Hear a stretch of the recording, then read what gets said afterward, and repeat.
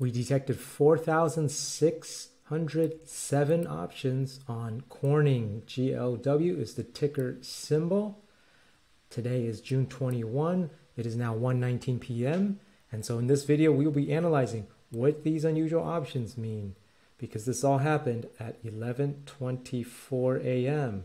So if you want to be notified of unusual options activity, make sure to subscribe and click the bell icon to be notified. So without further ado, let's take a look at the 15 September 38 strike calls. This expires 86 days away, and you'll see here volume much greater than the open interest. So we know these are opening orders. We believe they are selling this 38 strike call. When you analyze this trade, this is selling um, a call moderately bearish. However, the price can still go all the way up to 38.34. This trade will still be profitable. This is collecting premium. They could have stock and they're selling this for a covered call strategy.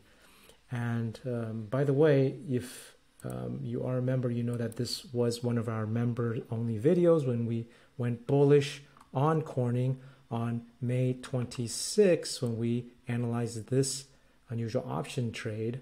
As you can see, was bullish. And so our video of May 26 was on this day. We made a members only video. And so um, if you are a member and you are still in this trade, um, may want to take profits now because it's been quite profitable all the way 14% in the stock. If you were trading options, you probably made more. And so um, there is a pullback happening now on GLW. So um, based on these unusual options, uh, we would be very careful at this time now.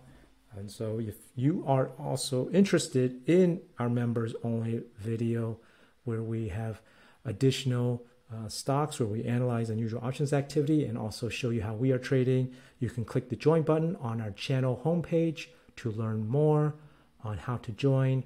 and we want to trade different stocks with different unusual options activity because we want to diversify our portfolio and not just a few. Uh, the more you trade, the more profitable and increase your success you can be.